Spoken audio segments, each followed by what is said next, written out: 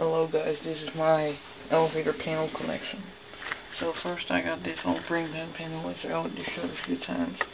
The alarm button, door open button, ground floor button, first floor button, and second floor button. I get these lights working again.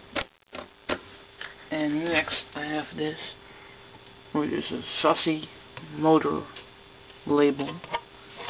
Was a three-phase 380 volts 4 kilowatt motor built in 1982 with lots of stuff on here.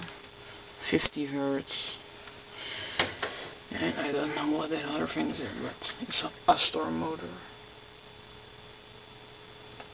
made in Italy. And next and last I have this certificate of operation sticker and it should be checked again February 2009 but the elevator was torn down before that happened. So I have those hanging on my shelf on my desk here. So mm, that's it